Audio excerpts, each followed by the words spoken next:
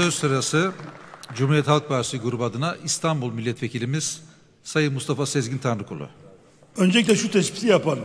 Sonuçta bu coğrafyada, bu cumhuriyette Alevi yurttaşlarımız ayrımcı bir muamele tabi tutuluyorlar. Ve bir derin devlet politikası olarak yıllardır Anadolu coğrafyası Alevi nüfustan arındırılıyor. Dolayısıyla bu işaretleme basit bir işaretleme değil duvara yazılan. Aynı zamanda bir kodtur. O kod da Maraş'tan, Çorum'dan, Sivas'tan gelen bir koddur. Alevi yurttaşlarımızın yaşadığı dehşetin kodudur ve Alevi yurttaşlarımızın yaşadığı travmanın kodudur. Böyle anlaşılması lazım. Hani her yıl birkaç tane böyle yapılır. Alevi yurttaşlarımıza bir korku salınır ve sonuçta Anadolu coğrafyasında tek tük kalmış Alevi yurttaşlarımız kendi bulundukları yerlerden merkeze, merkezden metropollere ve metropolden Avrupa'ya ve bütün dünyaya yayılırlar ve artık Anadolu topraklarını değil dünya coğrafyasını kendisine yurt edinirler. Böyle bir kötü mirasa sahibiz. Ve bu parlamentoda geçmişten bugüne Alevi yurttaşlarımızın uğradığı ayrımcı muamele noktasında bir adım atamadı. Alevi yurttaşlarımız kendi inançlarını kendileri kendileri gibi yaşayamıyorlar. Kendi istedikleri gibi yaşayamıyorlar. Hakim ideolojini ve inancın dayattığı biçimde yaşıyorlar. Ben bunları söylüyorum. Bunları biz söylemeliyiz. Alevi inancından gelmeyen yurttaşlarımız söylemeli. Alevi dostlarımız ve arkadaşlarımız değil, yurttaşlarımız değil. Ama maalesef burada hamasi nutuklar atılır ama Alevi yurttaşlarımızın talepleri, kamusal talepleri bu parlamento tarafından yerine getirilmez. İşte daha yeni Diyanet İşleri Başkanlığı bütçesi görüşüldü. Talepleri var. Ne kadar bütçe ayrılıyor? Sıfır. Naci Bey size soruyorum. Size soruyorum. 64. hükümet programı. Aynen şu cümle var. 64. hükümet programında. Geleneksel irfan merkezleri ve cemevlerine hukuki statü tanıyacağız. 65. hükümet programı var. Hemen sonrasında cemevleri düşmüş. Hükümet programından irfan merkezleri kalmış. Adalet ve Kalkınma Partisi'nin siyasal tercihi de bu. Bakın iki hükümet programından okudum bunları. Elimizi vicdanımıza koyalım ve araştıralım. Varsanız araştıralım. Kamusal hizmetlere girmede şu anda ve kamusal hizmetlerde yükselmede Alevi yurttaşlarımıza ayrımcılık uygulanıyor mu uygulanmıyor mu? Gelin araştıralım. Son zamanlarda kaç yurttaşımız kaç yurttaşımız girenler arasında oran yaparak hakim olmuştur, savcı olmuştur. Kaç valimiz içerisinde Alevi yurttaşımız vardır. Kaç büyükelçi içerisinde Alevi yurttaşımız vardır. Avrupa İnsan Hakları Mahkemesi kararı var. Hükümet bu kararlara uymaya çalışıyor. Neden Alevi yurttaşlarımızın inançları ve eğitimleriyle ilgili olarak bu kararlara karşı direnir bu hükümet? Dolayısıyla bu hükümetimizin siyasal tercihidir. Bu siyasal tercih Alevi inancının kamusal yaşamda tanınmasının karşısındadır. Eğer Türkiye'de birliği ve beraber yaşamayı savunuyorsak bundan vazgeçmeliyiz ve parlamento bu yurttaşlarımızın yaşadığı ayrımcı uygulamayı kamusal, kamusal yaşamda uğradıkları ayrımcı uygulamayı burada araştırmak zorundayız.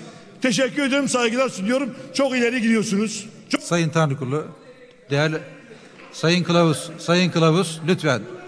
Sayın Tanrıkulu, Sayın Tanrı, Sayın Kılavuz, Sayın Kılavuz, lütfen Sayın Akçay, Sayın Tanrıkulu, Sayın Tanrıkulu, lütfen yerimize oturalım.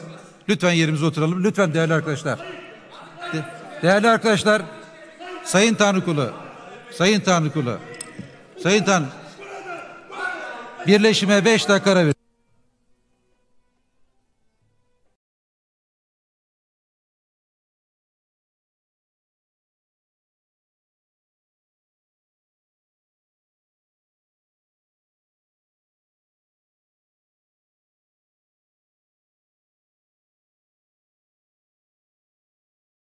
Yani Alevi yurttaşlarımızın sorunlarıyla ilgili olarak önemli bir konuyu konuştuk. Konuşmaya devam edeceğiz birazdan da.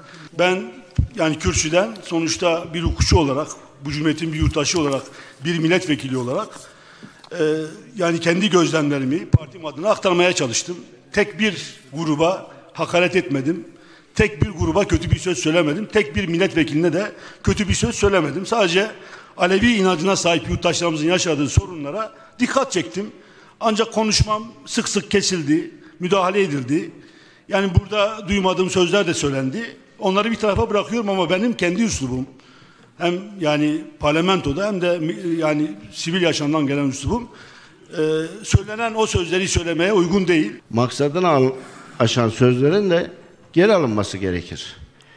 Ben maksadını aşan sözler var ise olanları MHP Grup Başkan Vekili Erkan Akçay olarak alıyorum.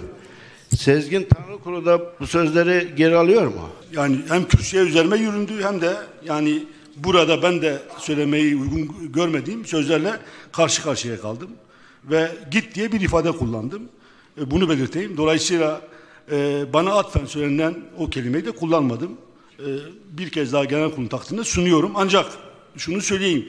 Yani bu konu konuşulurken hiçbir milletvekili izam edici bir cümle kullanmadığım halde Alevi yurttaşlarımızın yani uğradığı ayrımcılığa dikkat çeken bu konuşma nedeniyle bana gösterilen bu tepkiyi de benim kimliğimden kaynaklı bir tepki olduğunu da burada bir kez daha ifade ediyorum. Sayın Özel, Sayın Özel siz de bir, bir saniye. Bir saniye. Bir saniye, bir saniye. Sayın Engin, Sayın Engin Yurt, lütfen tartışmayı bakın.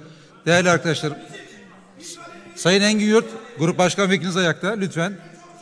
Sayın Engin Yurt, lütfen. Lütfen. Sözlerini geri almasını bekler iken mevzuyu daha da dağıtan hatta farklı mecralarda taşıyan bir takım isnatlarda bulundu. Diyor ki bunun diyor benim kimliğime yöneltilen bir taarruz olduğunu. Kardeşim senin kimliğin nedir ki? Niye kimliği? Hangi kimliği? Hepimizin kimliği milletvekili kimliği. Ve parti kimliklerimiz var. Susalım arkadaşlar. Ben Milliyetçi Hareket Partisi Grup Başkan Vekili olarak Tanrı kulundan da aynı davranışı bekliyorum. Teşekkür ederim. Eğer getirmez ise gereğini de elbette grubu yapacaktır diye düşünüyorum. Sayın Kılavuz, Sayın Kılavuz. Rica ediyorum. Lütfen. Sayın Kılavuz, rica ediyorum. Sayın Özel. Değerli arkadaşlarım. Değerli arkadaşlarım. Değerli arkadaşlarım, Sayın Kılavuz lütfen. Lütfen böyle bir usul yok. Bakın grup başkan vekillerimiz konuyu açıklıyorlar. hem Cumhuriyet Halk Partisi Grup Başkan Vekili sıfatıyla hem de olayın canlı ve yakından bir tanığı olarak hem konuya bir açıklık getirelim hem de bu hassas konuyu meclise yakışır bir şekilde tamamlayalım, sonlandıralım. Sondan başlayalım.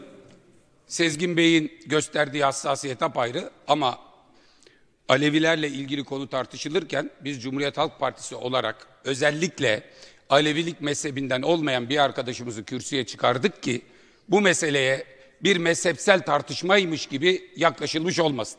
Sezgin Bey'in Sezgin Bey'in ifadesini şimdi televizyondan dinleyen öyle bir şey anlar ki bir yanlışı ortaklaşa yapmayalım. Sanki Sezgin Bey kimliğimden dolayı derken onun kastettiği meseleyle bugün tartıştığımız mesele aynı mesele değil. Yani bu yanlışı yapıp da sanki Alevi yurttaşların sorunu konuşulurken bir Aleviye tahammül edilememişçesine Tamamlayalım Sayın Özel. bu konunun yanlış anlaşılması bu ülkeyi sıkıntıya sokar. İki, Sezgin Bey konuşma sırasında sonlarında çok laf atıldı. Siz hassasiyetle tartışma büyümesin diye kestiniz.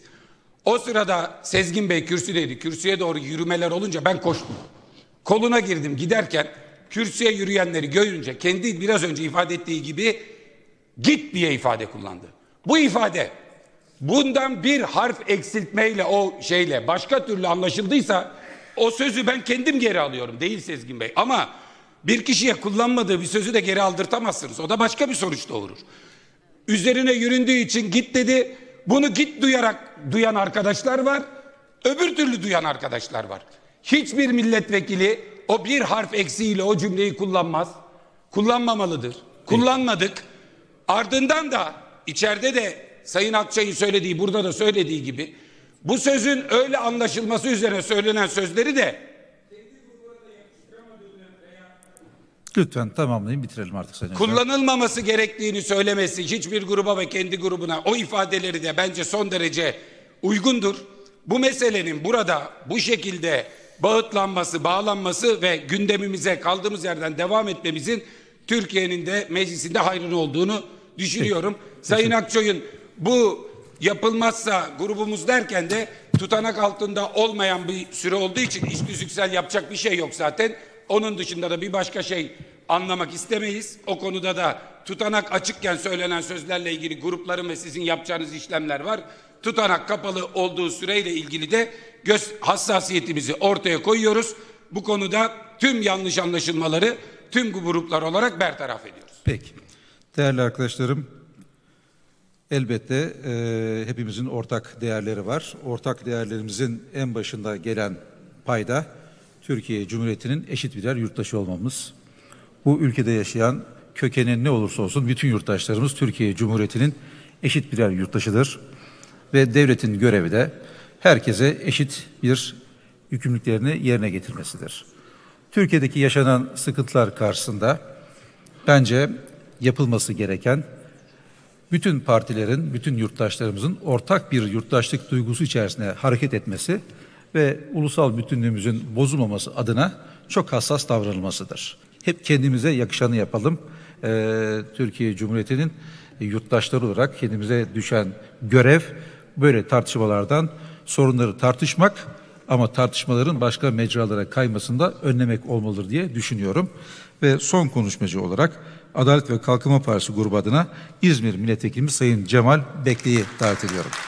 HDP grubu tarafından meclis başkanımıza sunulan Alevi toplumunu hedef alan tehdit ve sorunların bulunmasına yönelik Meclis Araştırma Komisyonu kurulması teklifi üzerine AK Parti grubumuz adına söz almış bulunmaktayım. Hepinizi saygıyla selamlıyorum.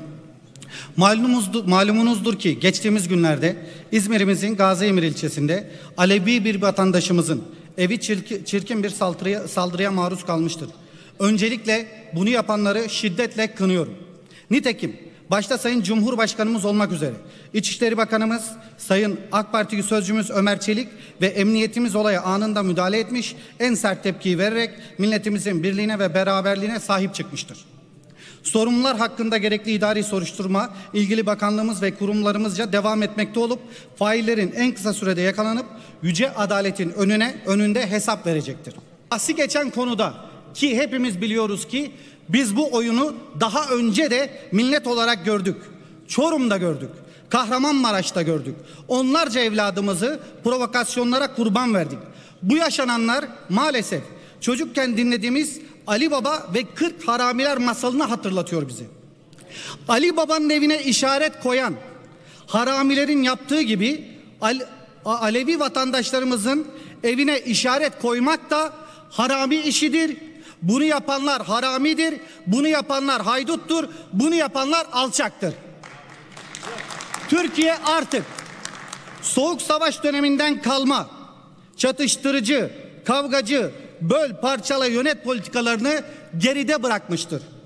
Başta Alevi yurttaşlarımız olmak üzere tüm millet, tüm milletimiz bu bayatlamış oyunlara gelmeyecek kadar tecrübe kazanmıştır.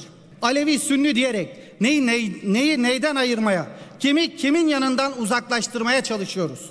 Hünkar Hacı Bektaş velilerin, Anadolu'muzun gönül sultanı Yunus Emre'mizin, hoşgörümüzün timsali Hazreti Mevlana'mızın, Pir Sultan Abdal'ımızın öğretileri var iken bu öğretiler buna müsaade etmez. Hemen her ailede var olan Alilerimiz, Hüseyinlerimiz, Hasanlarımız, Fatmalarımız, analarımız buna müsaade etmez. Ve yine en kutsalımız, camilerimiz, en güzel yerlerinde, en nadide köşelerini süsleyen Ehli Beyt isimleri buna müsaade etmez. Bu millet hiçbir zaman dört halifeyi birbirinden ayırmamıştır. Her birini, her birini eşit sevmiştir. Hazreti Peygamber Efendimizin sözüyle ayrılıkta azap vardır. Birlikte rahmet sözü boşuna söylenmemiş bu sözdür. Öneriyi oylarınıza sunuyorum. Kabul edenler, kabul etmeyenler öneri kabul edilmemiştir. Sayın Uluç bir söz talebiniz vardı. Teşekkür ederim Sayın Başkan, Sayın Vekiller. Ee, evet bir gerilim yaşadık. Ee, meclisimiz, e, bütün milletvekillerimiz, bütün partiler aslında bu tür konuları suhuletle tartışabilmelidir ve ele alabilmelidir. Çünkü konu ciddidir. Ee, konunun toplumsal ve tarihsel bir yanı vardır. Bu tür tartışmalar ilk defa bu mecliste yapılmıyor. Daha önce çeşitli tartışmalarda yapıldı. Ben yanlış hatırlamıyorsam sayıyı yedi kez Alevi çalıştayları yapıldı, tartışıldı. Yani bu tartışmaların sorunları çözücü adımlar doğrultusunda olması iyi bir şey e, olur. Dolayısıyla gerginliğe gerek olmadığını düşünüyoruz. Türkiye'de yaşayan herkes, bütün yurttaşlarımız her türlü farklılıklarıyla bir birlik oluşturmaktadır. Yani bütün kültürel, kimliksel, etnik, inançsal farklılıkların hepsi bizim zenginliğimizdir ve bu farklılıkların birliği bizim aslında gücümüzü oluşturmaktadır. Dolayısıyla hiçbir yurttaşımıza karşı e, ayrımcılık yapılmasını, nefret söylemini kim Tamamlayalım. Evet, ayrımcılık yapılmasının nefret söylemini kimse kabullenmemelidir. Ee, biz e, yani Alevi sivil toplum kuruluşlarının, derneklerinin talepleri esas itibariyle eşit yurttaşlık talepleridir. Cemevlerinin ibadethane kabul edilmesi gibi taleplerdir. Dolayısıyla bunların hepsinin suhuletle tartışılabileceğini düşünüyoruz. Bir kez daha teşekkür ediyorum.